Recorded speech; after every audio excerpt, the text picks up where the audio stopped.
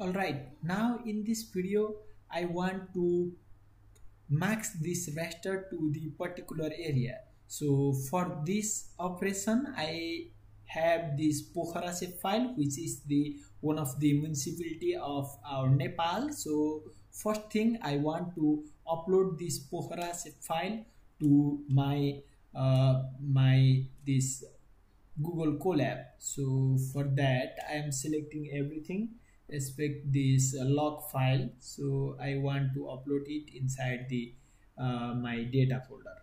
So this is simply the SSP file. Uh, the mandatory file will be SSP, SHX, PRJ and DBF only. Other things are the optional files. So now uh, for masking this raster actually I have to read this uh, masking this raster I have to read this pokhara.shp file. So for reading this actually I, I want to import the another library called fiona. So if I try it I think uh, it shows us error. So maybe I need to install it. Okay. So after installation I can use this library. So okay. If I try import Fiona now it should work. Okay now it's working. So now what I want to do is I want to read the my shapes. So for reading the shape I am going to use the Fiona open statement with uh, with the with case. So with fiona.open so for opening the raster data we have rasterio.open for uh, open uh, function. For opening the vector file we have the fiona.open file. So for this actually i have to provide the path to the SHP so copy path and then paste it here. And then i want to open it in the read mode and as save file okay? And then from here actually uh, if let's suppose if I type print uh, save file so I'll get the output like this. So similar kind of output. And then if I type like the I have to run the for loop inside here uh, inside the save file because uh, for our case right now we have only one save feature but uh, there might be uh, lots of features so I have to apply the for loop for feature in save file. So for each feature we need to like if I try to print uh, feature and then if I print the geometry and then it will print out the geometry like this. So this is the type polygon and then this is the coordinate of my geometry right? So right now it's outputting only one feature. That means we have only one boundary. So I want to save it as the saves so what I can do is saves is equal to uh, might be I can provide the list and then I can provide the feature and then geometry so I want to uh, get the shapes uh, using my feature geometries. Okay now it ran so I have the shapes uh, level so if I type the shapes so I'll get the shape uh, so like this. So right. So I have this uh, I have this list with the number of polygons sorry it's quite long so maybe I can turn off this output. And then so now similarly I want to open my raster file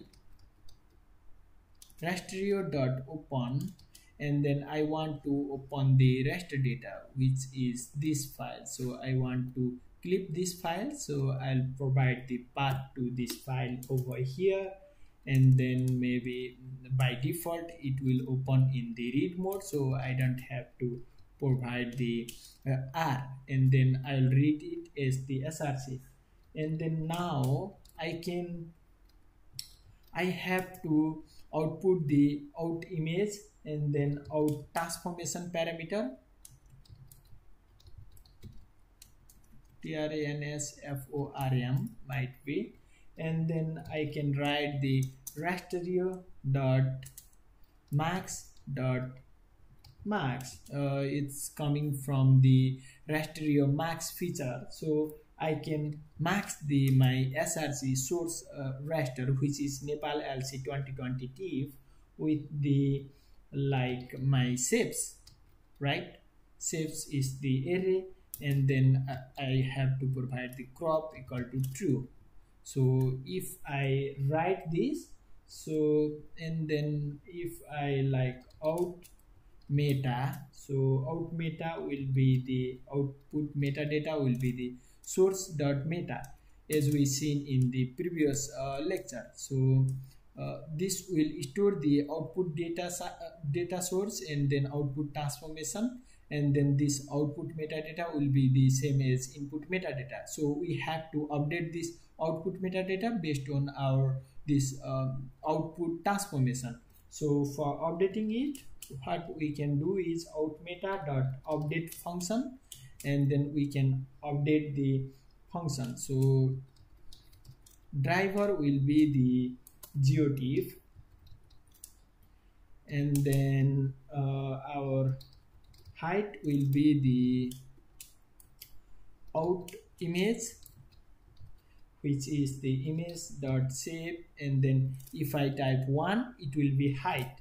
And then for the width uh, our width will be the image dot shape and 2 uh, the first zero index represent the number of band. And then for the transform actually I have to provide the out transform right? So out transform is coming from up here. And then this will output our metadata. Uh, this will update our metadata. And after that actually we have to finally write our new raster clipped raster raster data. So rasterio dot open and then i can provide the output location. So for me it's uh, here and then maybe I can write Pokhara LC uh, 2020 sorry 2020 dot dot uh, dot TIFF and then is uh, I'll write it uh, I think I am writing it so I have to open it in the write mode and then I have to um, update the metadata. So I'll write stochastic meta is dst right? And then after that I can write dst dot write. And then what I can write is I can write the out image right? And then if I run it so out image rasterio has no module mask maybe I need to import it uh, import uh, mask dot mask and then okay now it should work. So mm, data set has no no attribute out meta. So uh, uh, sorry it will be src dot meta uh, is the input meta so now it ran successfully. So that means if we refresh here so we'll get the Pokhara lc.tiff file. So for for just for the confirmation maybe I can download it and then visualize it in the uh, ArcGIS or I can even visualize it with the show function. So so rasterio dot open and then I want to open this file uh, where is Pokhara uh, file maybe inside output and then copy path paste it here and then run it so now I got the uh, this file for uh, land cover file for the Pokhara. If I run it here in the ArcGIS, so I can see the output like this, right? Okay, so I think that's all about the masking the raster. So I hope you enjoyed it. Some of the things are little bit advanced, but uh, you you you if you try to understand it, it's the pretty simple way. So I'll see you in the next